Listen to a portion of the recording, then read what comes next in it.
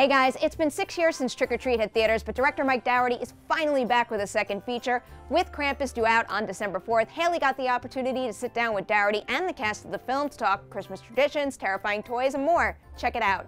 So we're gonna start with the quick Christmas round with you. Mm-hmm. Um, aside from your own, what's your favorite Christmas movie? A Christmas Story. Ooh, Christmas Story maybe. Christmas Story. I think so. Yeah, that's kind of a standard for me. No,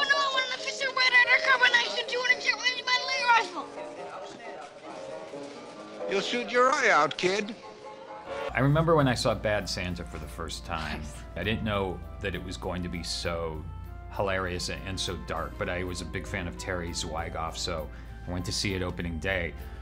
And I loved it so much, I came back the next day to see it again. I just couldn't believe how perfect that movie was. And your favorite Christmas song? That's a good question. I was singing Jingle Bells with my son in the bath the other night. That was pretty fun. Maybe Carol of the Bells, oh. which I couldn't sing all of if I wanted to, but I like the way it sounds. I like that one. Did Charlie Brown do a Christmas song? I don't know if it's a particular song, but I just I love the Charlie Brown Christmas album. Yeah, Christmas time is here. Yeah, that's very sweet. Nice. I like that song. Awesome. And do you have a favorite Christmas tradition? Um, I love wearing those paper hats that come out of the crackers. Yeah, I'm, I kind of force everyone to keep them on through lunch. In our household, we would open presents for like the four nights before Christmas um, to sort of cull, to kind of cull the herd for Christmas morning. You know, I'm a traditionalist, so it's decorating the house and it's making cookies and and Christmas specials. since having kids and having them kind of grow up, the whole Santa like leaving the cookies out is so, is so cute to watch them set it up and write the note, and then in the morning rush out to see if he ate the cookies and the carrots, if the reindeer ate the carrots and all that. It's we're lying to them, but it's really cute.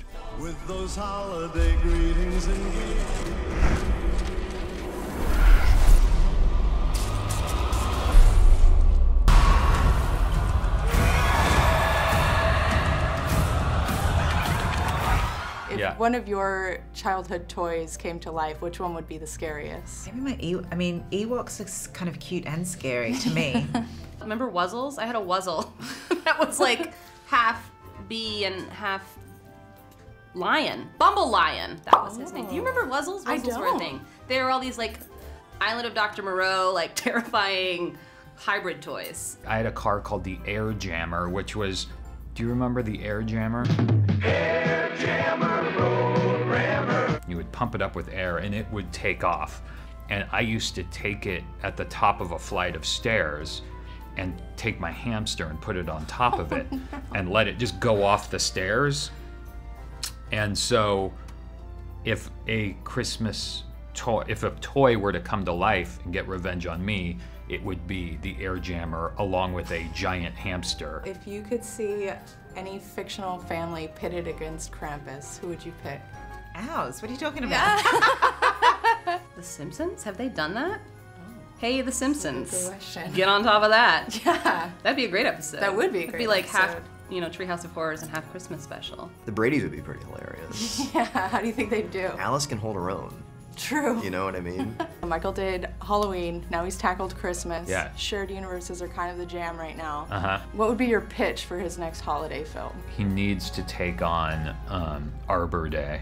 It's time. Can the Easter Bunny become evil? I really want there to be more Jewish holiday film, horror films, like, like Yom Kippur. Uh, I don't know. I don't know if we're the ones to take that on, but I think it would be fun. Thanks so much for watching. Don't forget, Krampus hits theaters nationwide on December 4th. If you enjoyed this video, be sure to click the thumbs up button and don't forget to subscribe to our channel to keep up with everything we've got going down here on Collider.